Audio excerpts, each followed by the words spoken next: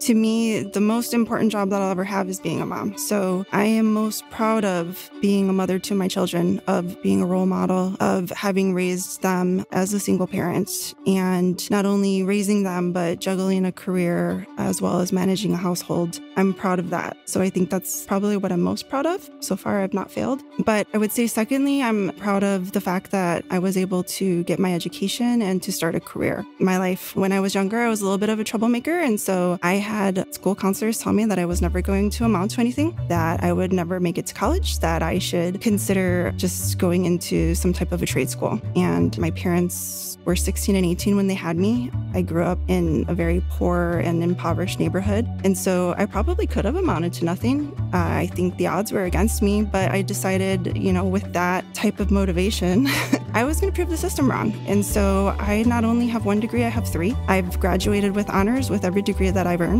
And I don't just have a job, but I have a career. Welcome to Everyday Heroes, a podcast from Shore Capital Partners that highlights the people who are building our companies from the inside, every day, often out of the spotlight. With this series, we want to pull those heroes out of the shadows. We want to hear their stories. We want to share their stories. We want to understand what drives them, why they do what they do, how they might inspire and support others to become everyday heroes too. In this episode, I talk with Courtney Sanchez, who is Vice President of Clinical Operations and Population Health at Point C. Courtney's journey in healthcare started when she was very young and felt a spark of energy and excitement whenever she visited the doctor. And as her work and life have unfolded in a variety of directions, that spark has never gone away. My name is Courtney Sanchez. Uh, I've been born and raised in Chicago. I tell people I don't belong here. Technically, I belong on an island with my toes in the sand and hanging out on a beach all day, but this is where home is for me right now. I'm a nurse. I think ever since I was a little girl, I always knew that I wanted to go into something that helped people. I just I had that desire to help people. And as strange as it may sound, like every time I stepped into a doctor's office or a hospital, I felt like I belonged there. Where most people want to run from those places, I was like, "Oh, this is great. I love this place." I was just really energized by the clinical environment. So when I was able to graduate high school and go on to college, I pursued my nursing degree. And so I'm a nurse. And not only am I a nurse, but I'm I'm a mother. I have two sons. My oldest is Ezra, he's 14 years old, and my youngest is Zacchaeus, he's 10 years old. So, very important people in my life. I am passionate about fitness uh, and I'm passionate about nutrition. So much so that I'm actually working on my certification as a personal trainer, and I have a certification as a health and nutrition coach. So at some point, hopefully, those will be my side hustle. Um, just my little mini passion projects that I, I really enjoy. Do you remember what it was as a kid that you were observing or that drew you to that clinical space? I think that's a really fascinating thought considering how your career has unfolded. I think for me, really, it was just anytime I went into a clinical setting and I saw doctors and nurses in action, I thought they are really important people. Whatever they're doing is like so cool and so important, and I want to do that too. And so I think that just, that always drew me to that profession because I saw them as like really important and valuable people. And as you found yourself in that nursing role, was it what you expected based on that childhood vision, or how was it the same or different than what you expected? It was rough. I don't know that I expected it to be as stressful as it was. As a new nurse going into nursing, you don't get the pick of the really great shifts. So my shift was the night shift. And on the night shift, you don't have access to a lot of resources. So I had to learn how to be very resourceful as a young new nurse. And that's stressful. It seems like people like to code at night. they don't like to do it for the day shift or the afternoon shift. They just save it for their night nurse. And so having your first patient code on you and having to really triage that whole situation, I learned that nursing is tough and you are in charge of something really important and a person's life is what you're in charge of and they tell you this and they try to teach you this in nursing school but it is not the same until it's real and so it's a rough profession and anybody who's been doing it for 20 plus years deserves an award and has all of the meaning and purpose you saw through the kids' eyes, but with a challenge and a stress level and a sort of brutal side that you can't see until you're in it, I imagine. Yeah, very much so. It definitely is important work, though. Yeah. So I still see it as these are very important people, and I'm proud that I'm one of them. So tell us about where you are today. Tell us a little bit about Point C and what you do for Point C. Point C, the way I like to describe it is we are a TPA aggregator. We acquire third party administrators who have a long-standing history and great reputation in the market. And we provide them with business process solutions and new products that add value, new services that add value for their clients. I was hired by Point C to come in as their VP of clinical operations. So I developed their care management program and, and I lead their care management team. And what does that mean? Tell us a little bit about care management in this context. So, care management is a service that's offered through insurance companies. It's also offered in healthcare settings where you have either a nurse or a social worker, somebody with a clinical background, helping coordinate your healthcare, helping you understand your conditions, your disease processes, educating you on your medications, helping you access services, and understanding your benefits. And so we have a team of nurses, and we also have a, a, licensed master social worker who help our members really coordinate their benefits, coordinate their health care, and understand their conditions. And you obviously started as a nurse. You've had a number of operations roles in some bigger companies in your career. What was it about joining Point C that was appealing to you? And maybe how's it been different in a sort of startup stage company, growth stage company, compared to those other experiences? I think the appealing thing about Point C was that I was able to come in and start something from scratch. When I interviewed with Mark Larson, who's our CEO, and Ben Frisch, who's our CEO, they were very transparent that there was absolutely nothing, that I was starting from ground zero, that I was going to come in and I was going to have to put all of this together. And by the way, you have a very short time frame to do so.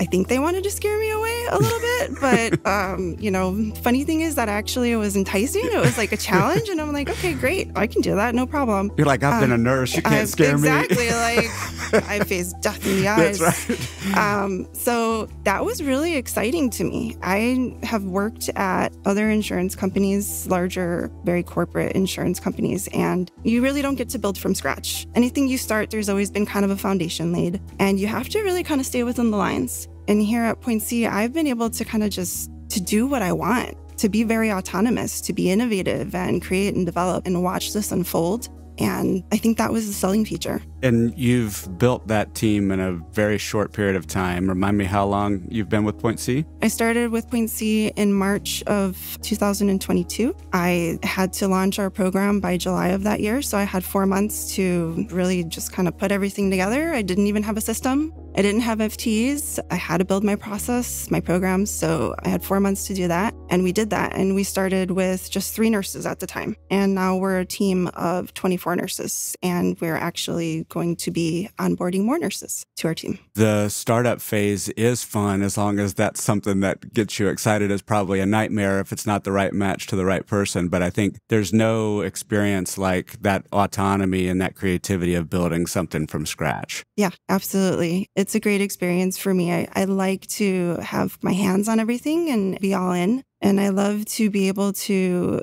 put my creative stamp on the things that I do. And that's kind of hard to do when you're at larger corporations. There's a lot of red tape.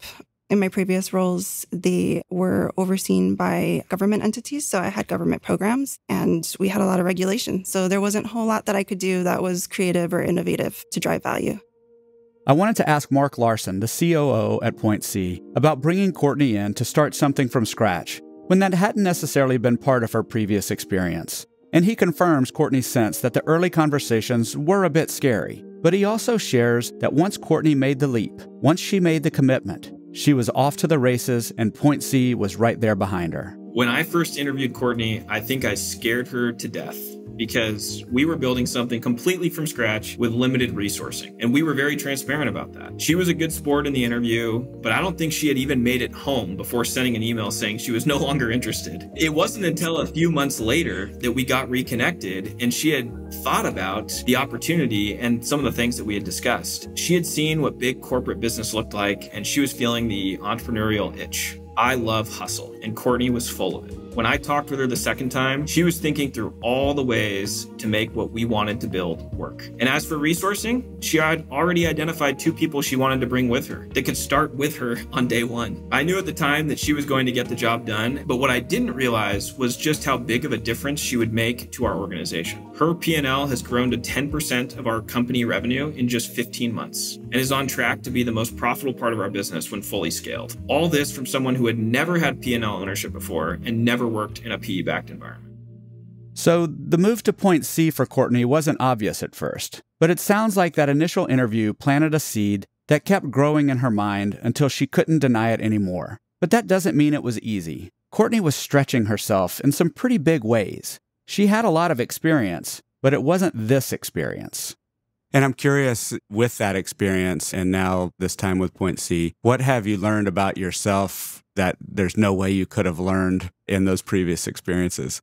I think I've learned that I am very resilient. I've learned that I can kind of roll with things and adjust my sails as needed and be successful. I may not know everything going into something, but I'm really good at seeking out my resources and researching and identifying kind of what I need to know to be successful. And I've learned that in this role. I've kind of grown with this role. Another thing that I didn't have a lot of experience with was kind of the business side of healthcare, I guess. I was more on the clinical operations side. And so coming here, I've learned a lot about business. I learned a lot about scaling a business and what it takes to succeed and to continue to grow your team. And so I feel more confident talking about growing a business and developing a, a program and being an entrepreneur, where prior to coming here, I wouldn't have had that competency. Yeah.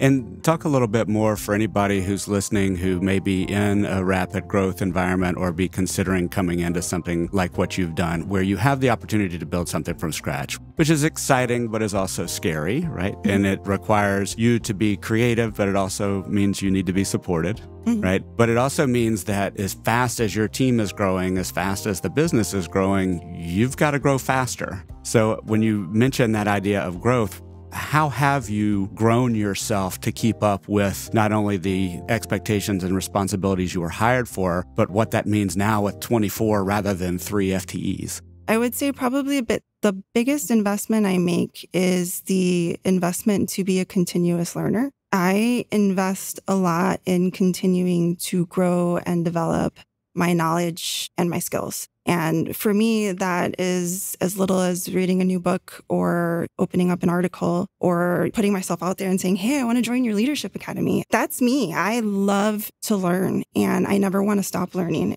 How do you think about building that team of nurses that also can grow with the change and growth of the business? Yeah, I invest in developing the leadership potential within my nurses. So I provide opportunities for my nurses to continue to grow, to continue to develop, and to have input on our programs, our processes, and the way we operate as a team. So there's a lot of communication and there's a lot of opportunity for instance, we're developing two new programs. One of them is going to be an oncology focused program, and the other one is a women's health program.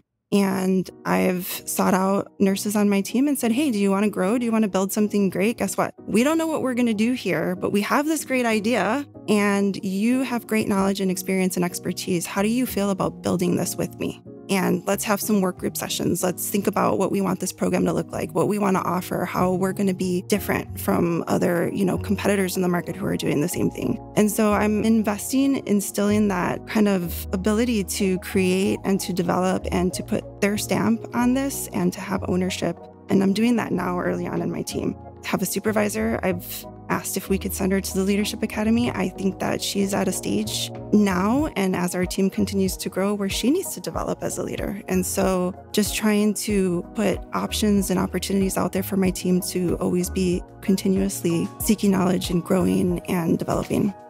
Courtney's not just developing herself and her team as care management continues to grow, she also is managing up and had a big picture perspective on building Point C from her earliest days in the company. Here again is Mark Larson. My favorite story was very early after I had hired Courtney. We were at a leadership council with some of our other key executives, and I was asking for feedback on me and the business her hand shot up. She was the first one to share things with me that I could do better as a leader. And I love that about Courtney. She's real. She's not afraid to call things like they are and share her opinions. That subsequently helped me build trust with her because I knew she was going to tell me the truth, not what I wanted to hear. It's one of the early events that helped us develop a great working relationship. My role is to help her be successful in hers, and knowing I can trust her gives me confidence to invest more aggressively in her growth and in her team. Courtney took a professional leap with her role at Point C. In a very short time, she's built an incredible amount of trust with Mark and the other leaders at the company. She's building her team. She's building care management. Point C is growing. There's so much professional momentum there. But Courtney has another huge role as a mom, and specifically as a single mom, that I wanted to bring back into this story.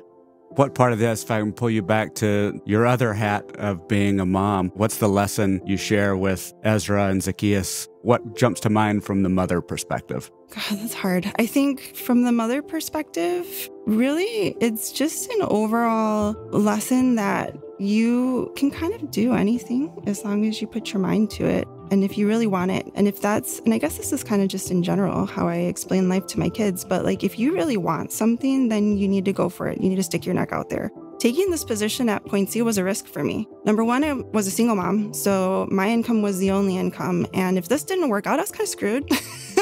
so it was a risk, but I, I, wanted to take the risk because I saw a lot of value in it. I saw something that I really wanted to do and I saw opportunity for growth. And so just translating that to my kids that it's okay to take risks, it's okay to stick your neck out there. And if you really want something, then then you need to work hard for it. And as long as you work hard and believe in yourself, you'll achieve it.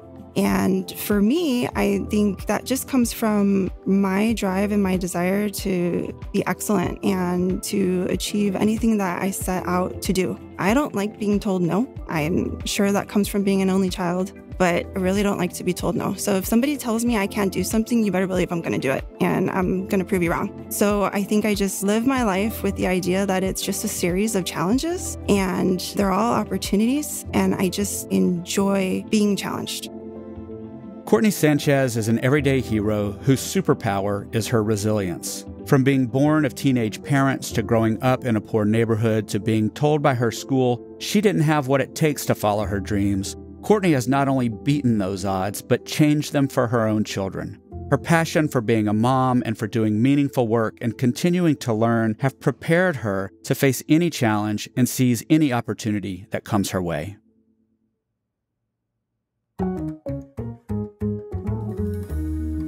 This podcast was produced by Shore Capital Partners, with story and narration by Anderson Williams, recording and editing by Andrew Malone, editing by Real Audiobooks, sound design, mixing, and mastering by Mark Galoop of Real Audiobooks. Special thanks to Courtney Sanchez and Mark Larson. This podcast is the property of Shore Capital Partners, LLC. None of the content herein is investment advice, an offer of investment advisory services, nor a recommendation or offer relating to any security. See the Terms of Use page on the Shore Capital website for other important information.